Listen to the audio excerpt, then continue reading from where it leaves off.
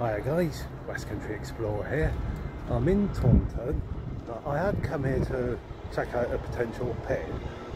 Uh, that pin, it looks like it is accessible, but it's in an area that is so popular during the daytime. I think the only time I get to potentially explore it is maybe evening or night time. So I've scrapped that idea. So I'm going to be having a little mooch around the town centre now. I thought what I'm going to do is, one place I'm going to visit is St Mary Magdalena Church. It's behind me. Uh, a couple of years ago it became sort of renamed Taunton Minster. So we're going to have a look around. Thanks for coming along. If so, keep watching. Right, so the church itself was built around about 1180, so end of the 12th century. And in round about 1308, it became sort of the town church. Now the tower, I've got to be careful on the road. Now the tower was built round about 1503 and apparently it's the tallest tower in Somerset. 131 feet to the rooftop and 158 foot to the top of the pinnacles. That is one tall tower. And quite an impressive looking one as well.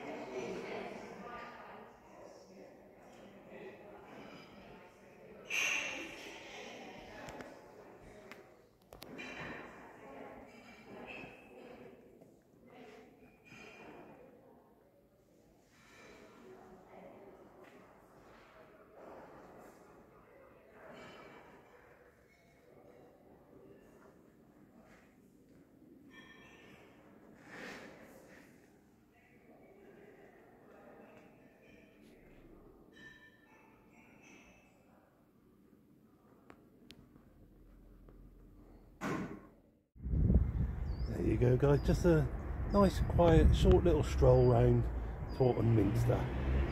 It's a lovely little church to look around I think, very pretty.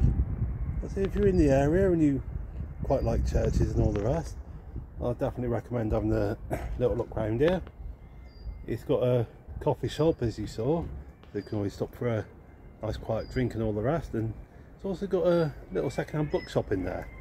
I didn't look around the bookshop myself but if you're into books and all that, it's got a bookshop too. There you go guys. Excuse me. Well, I hope you've enjoyed. Look forward to seeing you in the next video and in the meantime guys, as usual, stay safe, take care, God bless.